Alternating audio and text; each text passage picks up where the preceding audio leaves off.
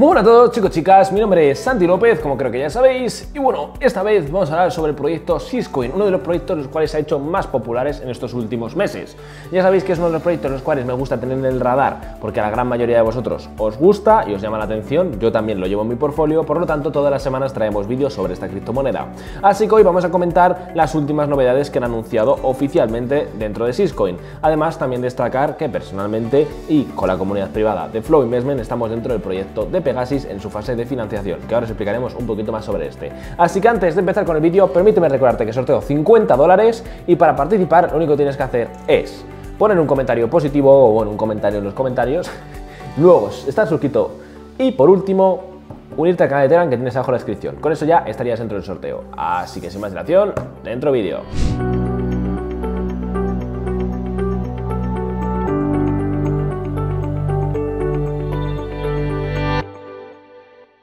Bueno chicos, para empezar el vídeo de hoy vamos a analizar un poquito la gráfica de Syscoin, iba a decir de Bitcoin, ya costumbre. Y pues bueno, tenemos aquí la gráfica semanal. En la gráfica semanal ya sabéis que yo suelo utilizar el estocástico maleta, que como veis me está indicando que la tendencia alcista está recuperándose, pero en semanal estamos teniendo un pequeño retroceso. ¿Podríamos ir buscar un doble suelo? Podríamos, pero realmente no es muy aconsejable hacer figuras técnicas en torno al semanal y menos cuando tengamos, tenemos tan pocas velas. Entonces, venimos otra vez al diario y en el diario sí encontramos una tendencia bajista marcada con bastante fuerza por parte del estocástico y el DMI ADX también marcando un retroceso eh, eh, indicado, ¿vale? Así que yo opino personalmente que es muy probable que veamos Syscoin caer en torno al precio 0.55 fácilmente, además si cierra hoy en torno a este precio, bueno, si cierra en torno a este precio por debajo de las medias móviles, es muy probable que rompamos esa, ese movimiento y volvamos a intentar buscar los 0.50, 0.45 o 0.50 ¿vale? Esos serían los puntos que tendría yo en referencia.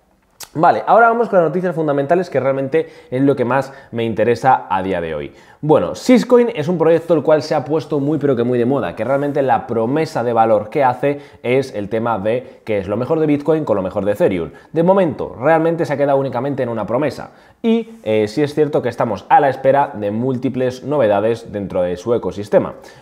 Una de las pegas que tiene es que no era válido con la Ethereum Virtual Machine, eso lo estaban arreglando, pero, claro, tú si quieres interactuar ahora con la red de Syscoin, tienes que hacer un lío de cosas con billeteras paralelas y todo eso. Pero ya subimos en su día un tutorial hablando de esto. Y entonces, al tener ese filtro tan alto, si nos venimos aquí a Defiyama y analizamos, Syscoin está en el precio, bueno, en el top 85, con un eh, total eh, stakeado o total valor bloqueado, como queráis llamarlo, el TVL toda la vida, de 2 millones de dólares. Y si nos venimos aquí, Pegasis es el exchange número uno, el cual tiene los 2 millones de dólares que eh, Syscoin mantiene. ¿Qué ha pasado Pegasis con Pegasis hasta la fecha? Pegasis no se ha llegado a lanzar oficialmente con su token ni nada de ese estilo debido al retraso que hubo dentro del ecosistema Syscoin. Esto se justifica principalmente que un lanzamiento dentro de, de Syscoin de Pegasis sin los eh, rollups, que ya vamos, a rollups como ya sabéis que es prácticamente el tema de Ethereum Virtual Machine, etcétera, eh, habilitado bien, no hubiese servido para nada. ¿Por qué? Porque nosotros ahora os voy a poner el caso de una persona que no sabe utilizar bien el tema cripto. Si venimos aquí a Pegasis y damos a Launch App, que sería ya para entrar dentro de la parte descentralizada y damos a conectar la cartera, ya por fin eh, tendríamos la parte de Syscoin, ¿vale? De Syscoin Chain dentro de la red de Metamask. Pero en su lanzamiento, justo el 16 de marzo, que era el que estaba establecido, no estaba. ¿Vale? Y aparte, ahora mismo lo puedes, la puedes unir con Metamask, pero para unirlo con Metamask tienes que entrar a través de la Pali Wallet y este realmente el movimiento que tienes que hacer de Pali Wallet a Metamask es un auténtico coñazo. Hasta que esto realmente no trabaje con la Ethereum Virtual Machine no va a despegar y no se va a lanzar. Hacedme caso porque no se va a lanzar, porque antes de que lanzar un producto a medias o un producto que no pueda tener todo el volumen que se espera, se va a esperar a que esté completado y el producto desarrollado de manera exitosa para luego a partir de ahí ser lanzado. Así que es muy importante que entendamos esto. Hasta que no sea útil al 100%, no se va a lanzar. Pero bueno, de todos modos, los amigos de Pegasus han decidido anunciar una fecha y esa fecha que estiman será el próximo 27 de abril, es decir, a final de este mes. No tenemos nada confirmado, dicen que es la fecha oficial, pero siempre está la posibilidad de que lo atrasen. Esto suele suceder con el tema de proyectos tecnológicos, así que tampoco nos tenemos que poner las manos a la cabeza y decir, joe, lo van a volver a retrasar o ya lo retrasado una vez, vaya mierda. ¿Por qué no? Es mucho mejor que retrasen un proyecto y lo lancen sólido y que vamos, que no sea francleable con el sentido de que lo hackeen, etcétera, porque claro, imaginaros que Pegasus sale, lo hackean, roban toda la liquidez que está dentro del exchange descentralizado y la gente, pues claro, ya en un exchange que ha sido hackeado, pues claramente no quiere tener su dinero, ¿no? Por lo tanto, es muy importante que este tipo de proyectos se desarrolle de una manera exitosa, de una manera eh, premeditada, perdón, con todas eh, las situaciones eh, estudiadas, ¿no? Entonces, pues bueno, estamos a la espera de que se lance el DEX y también eh, tenía que encajar con el lanzamiento del 2K Rollups por eh, la sencilla razón de que, claro, si no son útiles al 100% eh, los Rollups, no se puede trabajar con la Ethereum Virtual Machine directamente, va a haber un filtro de entrada muy alto para que la gente interactúe con la DeFi de Syscoin, con la blockchain de Syscoin, ¿vale? Entonces, pues estamos a la espera. Novedades que tenemos, ¿vale? Novedades que tenemos.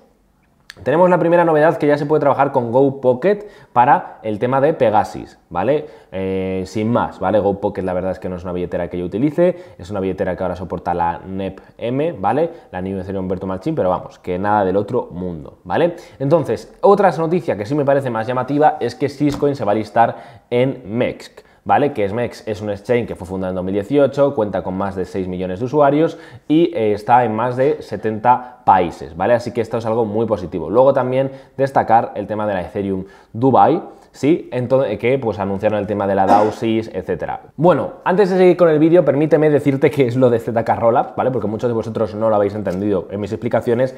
Es la opción de Cisco dará la bienvenida a un nivel de completamente nuevo de velocidad, interoperabilidad en todas las redes habilitadas por Ethereum Virtual Machine. Entonces, cuando eh, Syscoin puede incorporarse directamente a Metamask y se puede interactuar todos los protocolos de Syscoin con Metamask sin tener que utilizar la Pali Wallet de puente para pasarlo al Ethereum Virtual Machine, eso será los ZK Rollups. Y cuando se lance eso, se lanzará a la vez el DEX. ¿Por qué? Porque no tiene sentido lanzar un DEX si no tienen los ZK Rollups, por lo que os he mencionado antes, porque no tendrá la misma usabilidad por la parte del usuario, porque el filtro de entrada será mucho más difícil y no lo veremos. Y eso va a ser lo que, vamos, eso es lo que ha ocurrido para retrasarlo, ¿vale? Tampoco hay que ser ingeniero.